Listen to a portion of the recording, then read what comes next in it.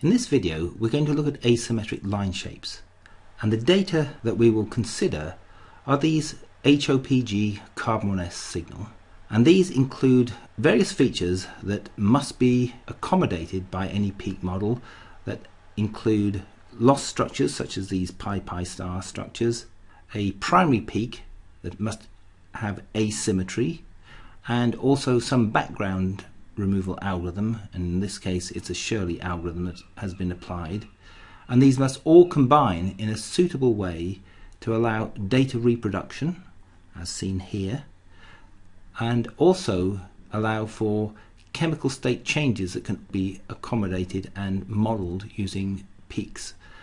Now the key point here is that the chemically shifted carbon peaks will appear within this asymmetric zone.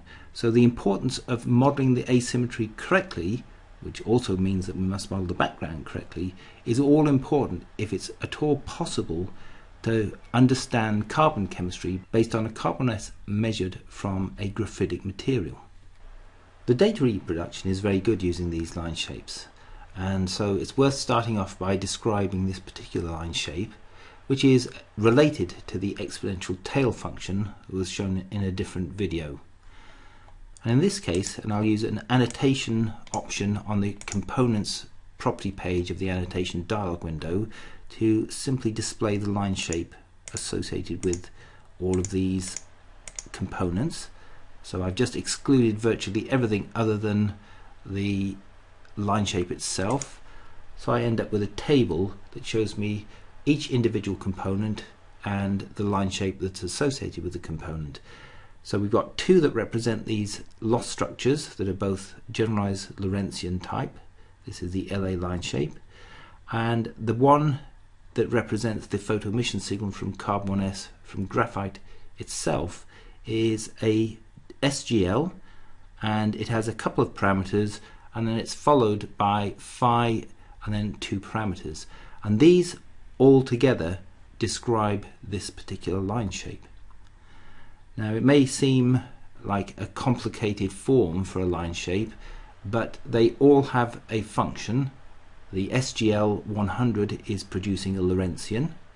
The 240 is the width of a Gaussian, so in fact this term here represents a convolution between a Lorentzian and a Gaussian, but the Lorentzian is modified by an exponential tail and the exponential tail itself is scaled by this first parameter and the extent of the exponential tail is determined by this second parameter within the phi section.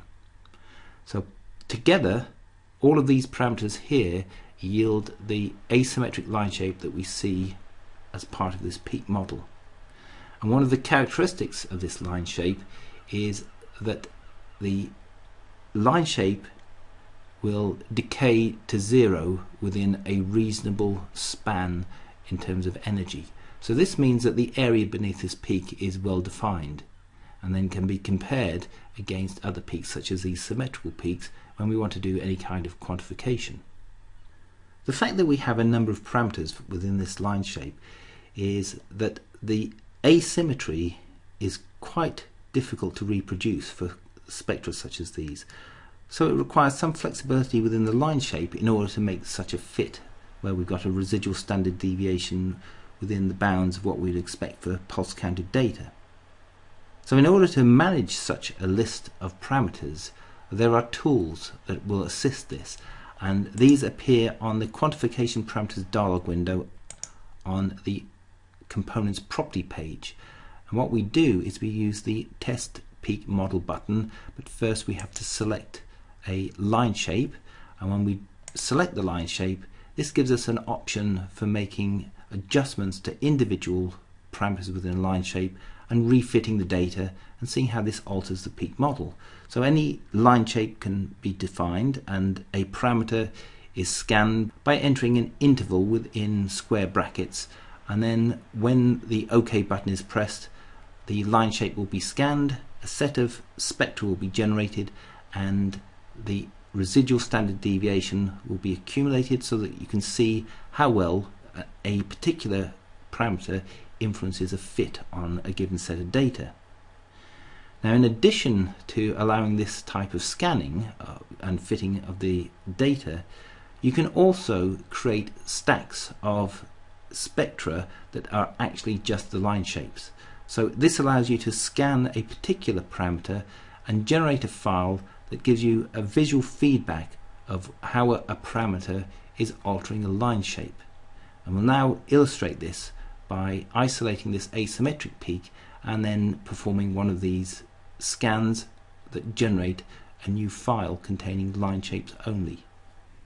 Since the primary function of this dialog window is to allow the adjustment of parameters and refitting of the data, in order to create a file that just contains line shapes, we need to set up a, a specific form of a VAMAS block with a line shape defined on it such that we can then calculate line shapes. And this is done by removing all other components.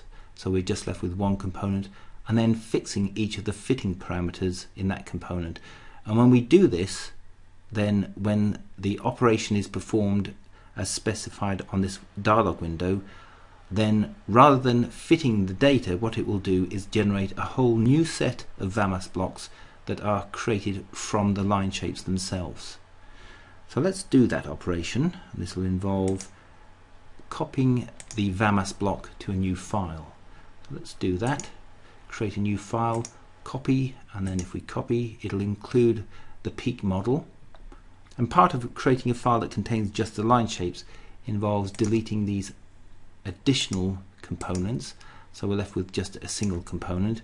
And then to indicate that we're not going to perform any optimization as part of this process, we need to fix every one of these optimization parameters. So area, width half maximum, and position, if I type hash and press return, then what happens is the interval that defines the range of possible values for each one of these parameters is set to be the value itself, so it's effectively fixing the optimization. So no optimization will be performed as a result of fixing these parameters. So this is the first step. I will also make an adjustment to the interval over which we will calculate the line shape and set the background type to be zero. So this means that the new VAMAS blocks will simply contain curves that are representative of this line shape when we make some adjustment to one of these parameters. So I've selected the line shape option within this component and now pressing test peak model gives me the same dialog window that would have been used for testing a parameter with respect to the data. We'll now adjust one of these parameters using the same notation. So I'm going to set this scale from 0, comma 1 and place that in square brackets. So this indicates that out of all of these parameters, that the first parameter in this phi suffix will then be scanned and for each value within that scan a new VAMAS block will be created and it will contain the data that is generated by replacing the original data with the line shape itself. So I'm going to press OK. And it just asks do I really want to go ahead with this? Yes I do.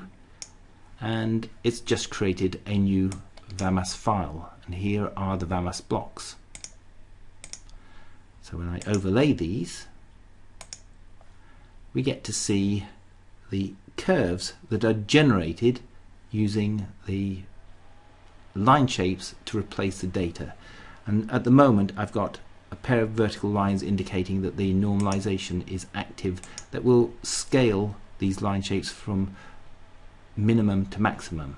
If I have one line that means it's tying at a point.